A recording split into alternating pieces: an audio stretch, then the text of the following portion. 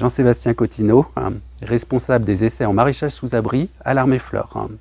Vous voyez une fleur de tomate, elle nécessite d'être vibrée euh, pour être fécondée hein, et obtenir une mise à fruit. En Europe continentale, c'est le bourdon qui assure ce travail. À La Réunion, il n'est pas présent et interdit d'importation pour des questions de risque écologique.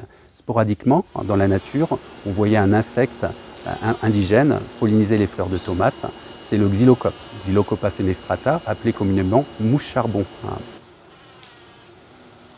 un partenariat a été monté entre le CIRAD, l'armée flore et la biofabrique de la Réunion, la coccinelle, euh, pour développer euh, ce nouveau pollinisateur.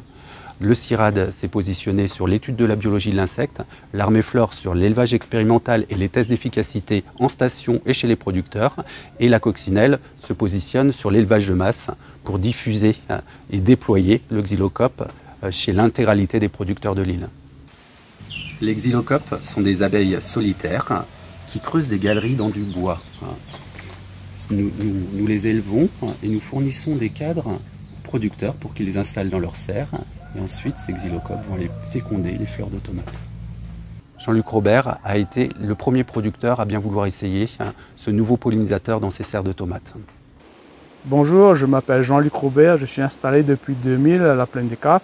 Je suis producteur de tomates et comme et avant, je faisais le vibrage euh, à la main.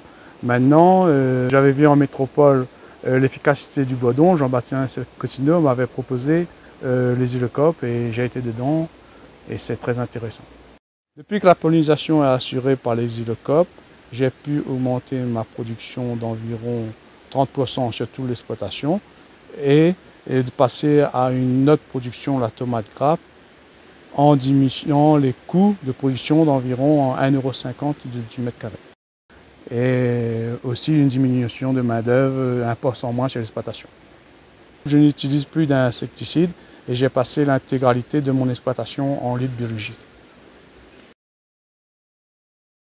Bonjour à tous, donc je me présente, je suis Tristan Schmitt, ingénieur en recherche et développement à la Coccinelle, qui est une biofabrique d'insectes à La Réunion, c'est-à-dire qu'on élève des insectes auxiliaires pour lutter contre les insectes ravageurs de culture.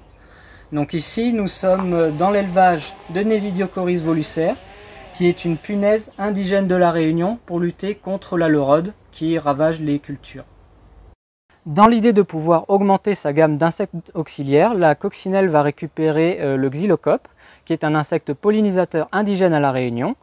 Donc cet insecte va aider à la pollinisation des fleurs de tomates auprès des agriculteurs. La coccinelle en fait aura à charge de récupérer les élevages, de multiplier les individus pour passer dans un élevage de masse et ensuite les transférer auprès des agriculteurs.